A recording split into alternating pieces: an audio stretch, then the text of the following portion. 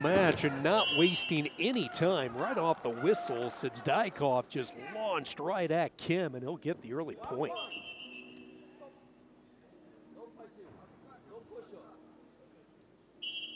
So three seconds in, just coming out like gangbusters was Aleem Khan Syzdykov and he'll get the early one.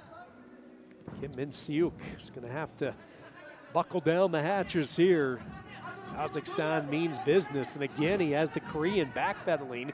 The heels nearly coming into the protection area. Snap down by Syzdykov.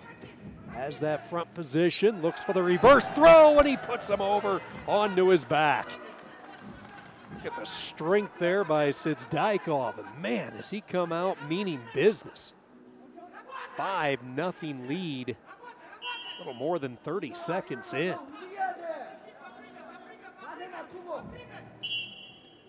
A man on a mission in this gold medal match, looking for his first Asian gold, coming so close a year ago. Silver medalist last year.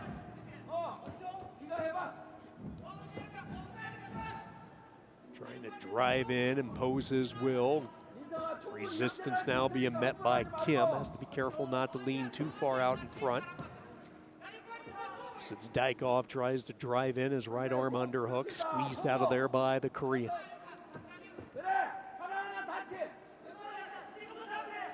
All this damage inflicted without parterre.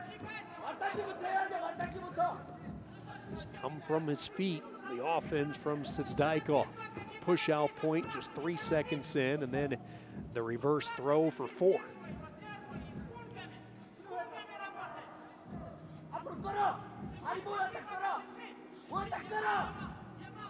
Both these big statues leaning squarely on one another, shoulder to shoulder. Weight on the toes, center of the mat. Kim trying to improve his mat positioning.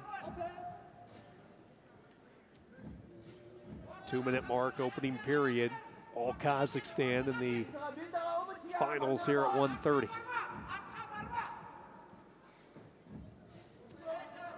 Again, different body statures with these two guys. Kim more compact. Syzdykov has a little bit of height on him. Bigger upper body area. Both wrestlers with tree trunks for legs.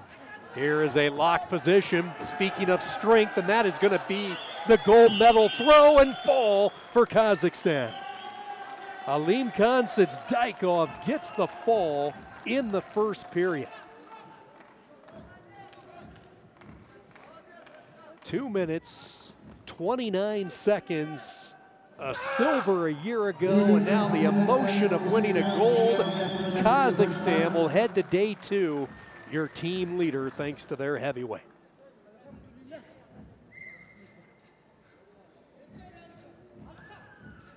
He's just been steadily getting better and better eighth place in 2020 and a fifth place in 2019 at these Asian Championships. Last year, the silver medalist, and now this year is the